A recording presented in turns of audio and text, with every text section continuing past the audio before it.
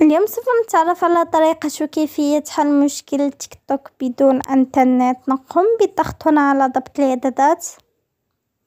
من ثم سوف نقوم بالضغط هنا على تطبيقات.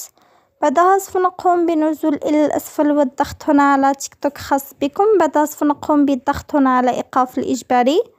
بعدها سوف نقوم بالضغط هنا على الموافقة.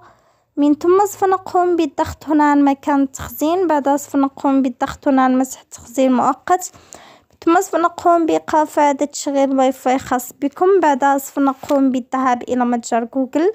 هنا سوف نقوم بالبحث عن تيك توك خاص بكم سوف يظهرنا على هذا الشكل. وعندما تجدون هنا تحديث قم بضغط عليه وسيتم تحديث تطبيقكم تيك توك. هكذا نكون قد قمنا بحل المشكلة. ولا تنسوا الضغط على زر like والاشتراك في القناة ونراكم في فيديو قادم إن شاء